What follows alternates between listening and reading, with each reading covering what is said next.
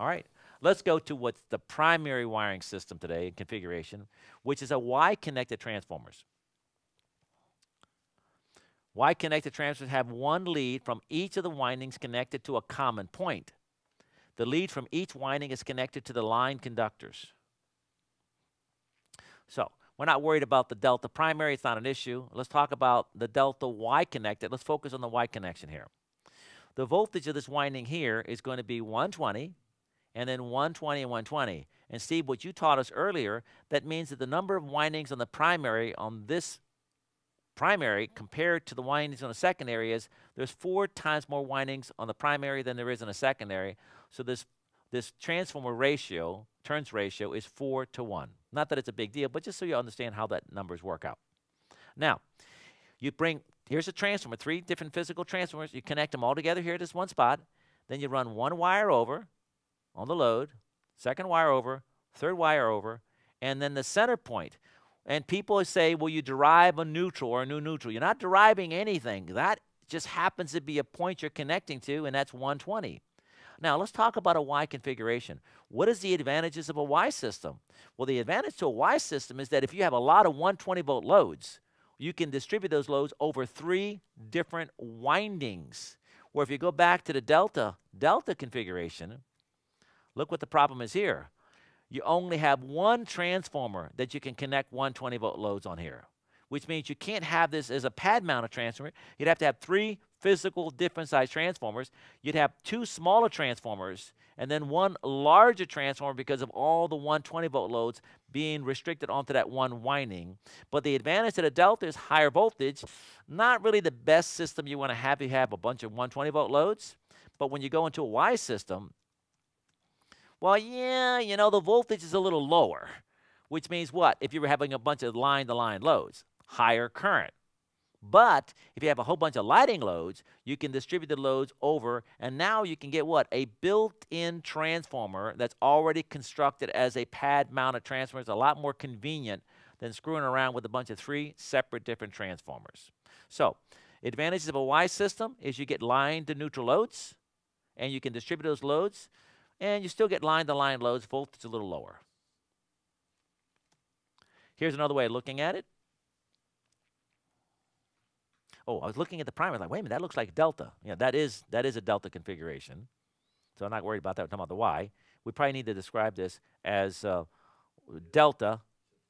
Yeah, but I'd rather have this word delta here and then Y configuration here so I can see that a little quicker. Okay, so now let's see what we got here. We get this winding is connected XO connects to XO, connects to XO, and then this is X1, X2, X3. Line to line voltage is 208, and line to neutral voltage is 120. Let me tell you a story about this type of graphic here. I did a seminar for Grand Coulee Dam. I did a few of those um, up at uh, Spokane, I think, north of Spokane, Washington, Grand Coulee. Kind of interesting area up there. And I get up there, and I'm learning all about. I went into the penstock. The penstock is where the water comes mm. down and goes all the way down, and it goes and it comes around and it spins around and it goes to a turbine. Now it's only like about a six foot diameter where it actually gets to the turbine. So I'm now physically in the penstock, and it's very cold because you're in the bottom of the dam. The temperatures in the bottom of the water is probably in the low 40s, and so the concrete over the generations of time has gotten very cold. So I'm freezing in the penstock, and I'm thinking to myself, man, I hope somebody doesn't press that button. You know mm. what I mm. mean? Because I'm gonna be chum coming out the other end there. So I'm in there and I'm seeing how this water comes in and looking at the turbine. I'm like, man, that is so cool. It's a little tiny thing. I can't believe that. And it's turning. Okay, Eric, is it turning magnets or is it turning the winding? I think it's I can't remember what's turning. Anybody know? there are no permanent magnets on a generator like that. it's a okay, synchronous machine. But so is it turning? Is it? What, what, effectively, it's turning a magnet because it's a synchronous machine. Okay, so it's it's turning the magnetic field. Okay, right. and then you have the conductors on the outside. So you have the magnetic field that's being moving through the conductors, which is inducing voltage, and it produces 13,008 volts. Okay, 13.8. Well, Maybe it's 14.4 now, whatever it is. But at that time, it was 13.8. That was Grand Coulee Dam, right? So now I go outside the dam, and there's this huge green thing. And I run up to it, and I don't know what any of this stuff is working. I mean, I'm here in a power plant. I mean, this is one of the, you know, this is a famous power plant, Grand Coulee Dam. And I walk around, I look at that, and I see a sign that says phase A. A. and I'm stunned. Because I'm used to seeing a transformer, right? I mean, it's a transformer. And I'm thinking, it is a transformer, but this is phase A. And I look up and I realize, well, there's three of them. And I look up, and guess what? There's two stabs coming out of the line side. And I'm looking at them. So now I'm looking at the two stabs of each of those, and I see there's a bar from one bus on each phase that connects to each one.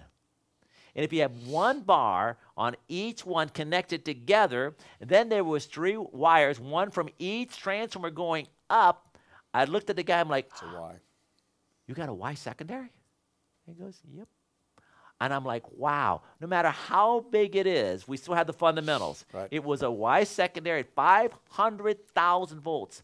And each of those transformers were 500,000 VA. 500 MVA. 500, I'm sorry, 500 MVA, giving you 500,000 volts phase to phase. Just simple basic transformer. It was a delta coming out at 13.8 going up to 500,000. Then they transmit 500,000, do some magnetic coupling somewhere else at what, 138,000. Then they do some more magnetic coupling down to maybe 69,000. Magnetic coupling maybe somewhere like around 34,000. Magnetic coupling somewhere around 14,000. Magnetic coupling somewhere around 277, 480. Some more magnetic coupling down to a 120, 208. So the electrons from the power plant actually never even left the power plant. They just went up to the primary and they went, I mean, it went for the primary winding of the primary, and it went right back down the line. So it's the magnetic coupling that we're getting done here. So look back at this graphic here. Oh, Eric, you going to say something? Yeah, you've brought up a, a, brilliant principle about this this whole system, and that is, if you look at this transformer on the graphic, you'll see that there's air between the primary and the secondary. Effectively, it's totally, totally isolated. So if there's a fault on the 500,000 volt system, it doesn't go through the air to the 138 uh, kV system. So it's, it, there's also a big safety factor here, safety issue. Separate coupling. By the way, if you, if, when, you, when you have this magnetic coupling, that's called a separately derived system. Get a coil of 12 gauge wire and put another coil of 12 gauge wire on top of that. Put a light bulb on the second coil. Get a clear light bulb, okay? And then take the first coil of 12 gauge wire connect it to a cord set or an extension cord, whatever you want to say, a power supply cord, and plug it in a receptacle, but you only have like about 45 seconds. When you plug it in, it'll draw about 40 amperes. And then while it's drawing 40 amperes on this primary that you plugged in, the coil of wire on top is going to be carrying very, very little current, but the light bulb would light up. Put an iron bar between the primary and secondary. We talk about this in our theory course and how, the, how transformers work out. So that is called a separately derived system. All right, let's get back here. So here's your primary, which is a delta primary because it's all connected in series. Here's your secondary. They're all connected to one point. That's a Y secondary. Another way to look at it, here is, this is all connected in series. This is a delta. We'll identify this as, as a delta configuration. And then we'll identify this as they're all coming to the one point here. And then line one, line two, and line three. This is going to be a Y configuration. Primary secondary line voltage on a Y system. That's the voltage measured on the primary side is the primary voltage, and the voltage measured on the secondary side is pretty straightforward, is going to be the secondary voltage. We talked about the primary line voltage is 480 because we're having a connected delta. Now, I don't know this to be the case, and I don't want to speculate too much in here, guys. My experience is generally it's delta, delta, delta, y. There's no reason why it can't be y, y, y delta, okay? But there are some voltage considerations. So I'm not going to get into y deltas uh, unless we get maybe at the end of the DVD, we can kind of review that and discuss that. So we're talking delta, delta, delta, y for right now. So here's my delta primary. Here's my y secondary. What's my voltages? Well, from line to line, take a voltmeter, it's 208. And from line, any one line, the neutral, is going to be 120. Stephen. Uh, just a point to notice that if it is a Y-connected system, your line to neutral times square root of 3 will give you your line to line. Hold on one second. So hold 120. On. Hold, hold on. Say, slow me down. Let me slow you down. Sorry. Line to neutral voltage. Okay. 120. Yeah. Times 1.732 gives you 208. Okay. 277 times 1.732 gives you 480. So you know those are Y-connected systems when you have that square root of You're- three. Okay, so if you're saying the voltage between line and neutral and line to line, if line to line is 1.73 times more than the 120, then You it's going to be a Y. Y configuration. And not that we would even care, right? But but if somebody asks you a question, hey, you got a you got a 12208, what kind of transformer winding it is? Well, it has to be a Y. If it's 12240, it's a delta, or it, it would be line to line. I'm even afraid to go here, but I'm going to give it a shot here. Eric, Okay, this real quick.